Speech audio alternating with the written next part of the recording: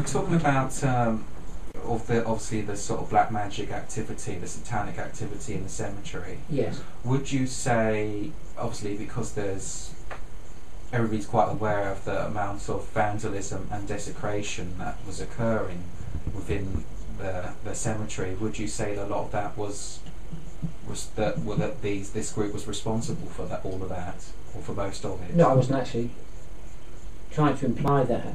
Okay. But you know, I'm, glad you've asked that question.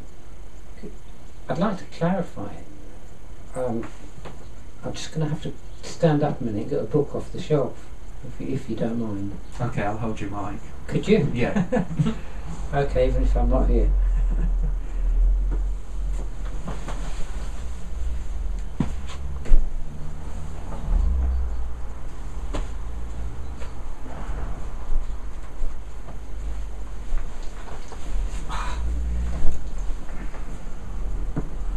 Thanks.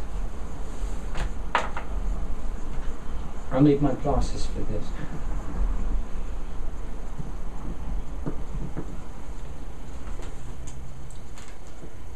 There was a lot of mindless vandalism at Highgate Cemetery, which was absolutely nothing to do with satanic activity. A lot of it was performed by cranks who were going into the cemetery opening coffins and taking out skeletons and staking bodies and all that sort of thing. Now, I said I'm glad you asked that question, and I am because I've just got a book off the shelf here, and I haven't read it from cover to cover, but I've certainly read the bit which was brought to my attention. And it's the um, autobiography of John Lydon, better known as Johnny Red. Sorry, Johnny Rotten. Johnny Rotten. Can't even say his name. Of the Sex Pistols. He gives a fairly detailed account of his life, and the title is "No Irish, No Blacks, and No Dogs." I really don't know what that means, but Um, it was just one of those kind of unfortunate things. I think if you were a black Carib- Afro-Caribbean or an African person or someone of an Irish background, and particularly come to one of the major cities, where it could be London or Manchester, it wasn't an unfamiliar sight. There were people looking for board and lodgings, there'd be a sign on the front window that would say exactly what you've just quoted. Yeah. So Does it actually say that? yeah, Well, even in Manchester. yeah. I just thought I'd ask. And that's of course that all changed with the Race Relation Act. Yes, so of course, yeah. people obviously were running a business in which they were providing accommodation for individuals, they couldn't discriminate on the grounds of race. Right, you know, no, Yeah. I just thought mainly applied to Mm. London because he was born in. Yeah, yeah, it would be quite a familiar sight around London. Oh, okay, well, shall I read you the passage? Oh yes, please. Okay. He writes During the summer period, when we were about 16 or 17 and I was going to school in Hackney, we'd break into the crypts where the, where the bodies were stacked on shelves, open up the coffins and have a look. We'd see which bodies hadn't deteriorated. Was this vampire thing real? Question. So many people were doing it. It was like a social club down there. You'd meet so many people, loonies mostly, running around with wooden stakes, crucifixes, and cloves of garlic. We'd get bored with that. There'd be a pub at the top of the road, and we'd have, and we'd drink a bit. Then go back into the crypts later that night. I had, etc., etc., etc. It goes on, but he makes clear reference there to Highgate Cemetery, and he was just confirming that this is the sort of thing. He actually says it, it was like a social club down there. I think David's quite worth adding that point. I suppose you know yourself that you did feel that you were a scapegoat for much of this kind of activity that was going on. Well, undoubtedly, yeah. Mm.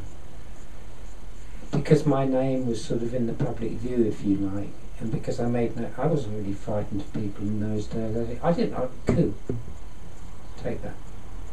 Redmond, I really didn't care what people thought of me people were always accusing me of being involved in black magic, in Satanism, and God knows what else.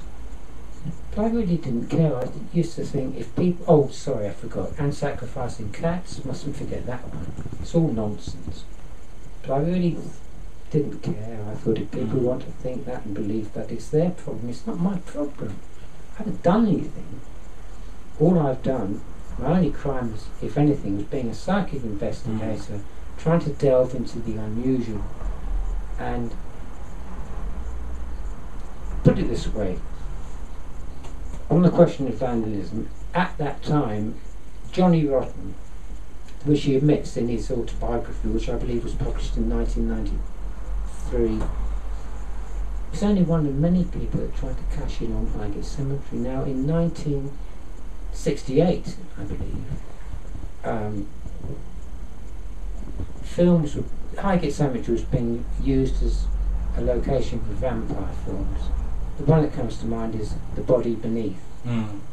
which was strictly a, a vampire film, and it, part of it, if not all, most of it was filmed in Highgate Cemetery. Hello. The body beneath, filmed in the graveyards of England. A tale of terror, of vampires, of cannibalistic desires. Do you actually think that the vampire myth evolved from that? You know, that it may put I- ideas in people's minds Well, that there might be a vampire connection. It certainly helped, Mm. it certainly in- influenced people like Johnny Rotten. And of course, there was the Hammer movies as well. The Hammer movies, I can't remember what they're all called now. Taste the Blood of Dracula. That's quite a well-known one, Yeah, and, if, if you see the film, quite a lot, they use quite a lot, heavily, quite a lot of the locations within the cemetery, particularly the, the Circle of Lebanon. And there were other films too. Mm. I can't honestly remember the title of them, but all I mean, I think the most recent one was Dorian Gray, I believe, used as a location. I'll take your word for it. Yeah. and it was being used for these vampire films, yeah, prior to that. At the time of the, shall we call it vampire epidemic, I, I've already gone into it with you quickly, basically, what, how I experience, my experiences of the phenomenon there. I called it an entity. I never called it a vampire. Did you feel that you were? I mean, I, I think some people sometimes. I remember my first exposure to the Highgate vampire case. I think it was uh, like a book on supernatural and the occult, of all places, in the school library, and in which they kind of it kind of retold your retold the story of Thornton's encounter in the cemetery. Yeah.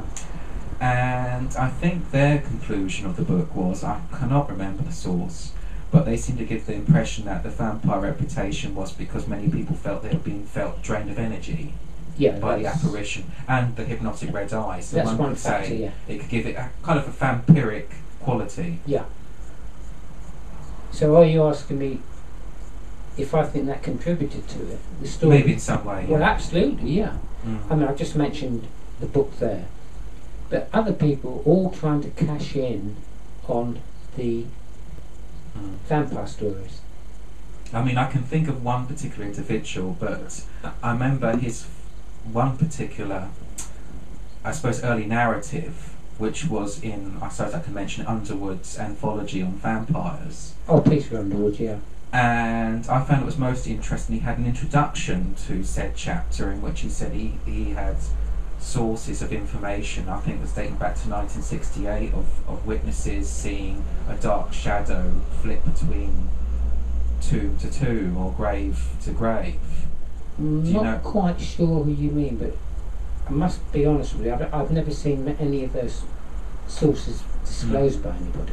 No, I mean he doesn't go into particular de- detail. I think the book is it's the I can't remember what it's called Underwood's The bedside companion, isn't it? vampire's companion, Yeah. or something like that, yeah. I think it's like a two-page introduction Yeah, yeah. to the Highgate vampire case. Well, it just confirms what I said. Everybody at that period was trying to cash in Mm. on the the ghost, if you like, the unexplained, but maybe because it was malevolent, because of the Yeah. attacks and all this sort of thing. I think they said it was like two witnesses or something had seen this black shape skulking amongst the tombs, and then it seemed to appear to disappear in one of the vaults. And they just said they seen drops of blood or something like that. I think that's how this Underwood described it. Right. Well, I can't really comment on that because I, I do have the Underwood book Yeah. buried in my files somewhere. Mm. I don't have it at hand. But I can tell you, other people trying to cash in. Um, you know, there was one, for example, person who I can name because it was on the front page of the Hampstead and Highgate Express. And I wonder, was this individual that may have been a source of information for Underwood? It could be quite Oh, I don't know, No. but he was certainly on the front page, and his name was Barry Edwards. He Mm. was a mail clerk as a job, and he ran the. They called their film unit the Hellfire Film Club. Cine Club or something, wasn't it? Cin- Yeah, sorry, it. Cine Club. Mm. And when he heard reports or saw reports of vampire at Highgate Cemetery, which were running, which were being ran by the Ham and High, he suddenly decided to come forward and say, "No, no. What these witnesses all saw was our Cine Club filming at night." Mm. Oh, I think the film was called Vampires at Night, Okay.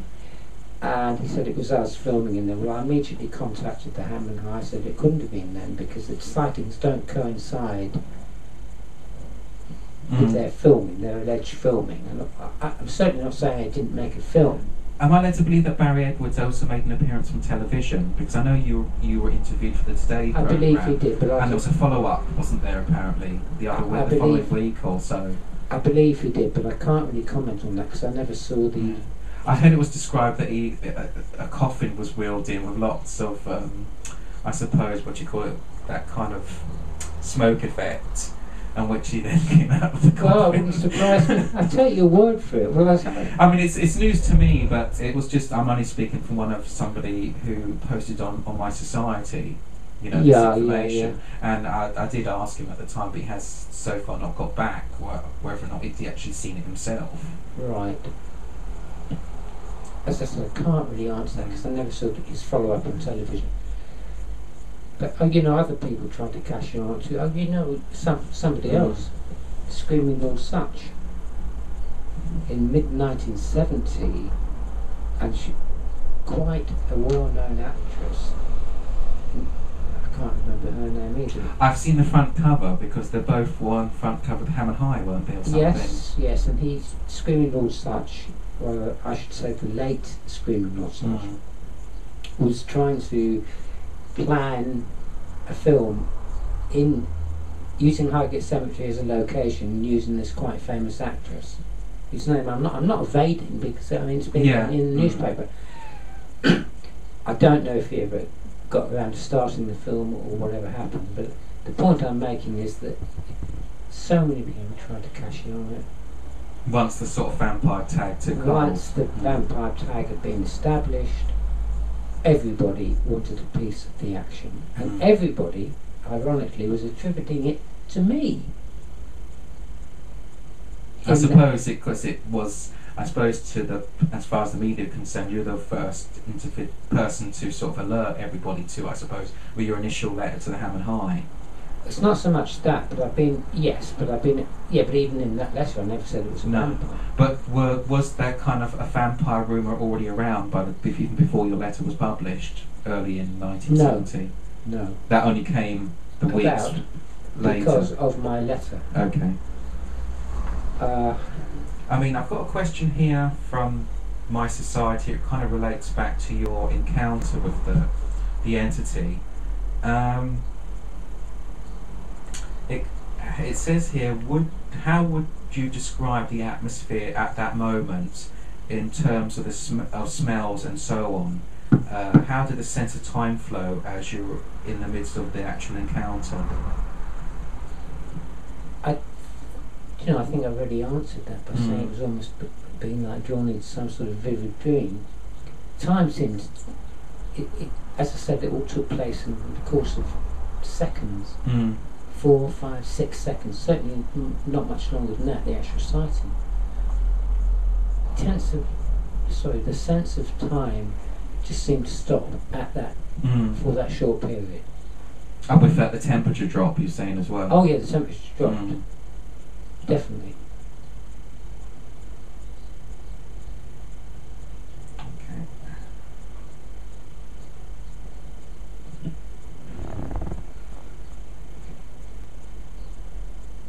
Okay, speaking of time flows, the confu- one confusing element of your initial account is the various dates and number of sightings you've given over time. For example, in your original letter, you said you sighted the being on three occasions on Christmas Eve, the week after, and the week before you wrote your letter. By October 1970, you said it was last February and on two occasions. But now you imply you only saw it once on December the 21st or one evening after Christmas. For the record, could you clarify exactly what date you saw it and how many times in total?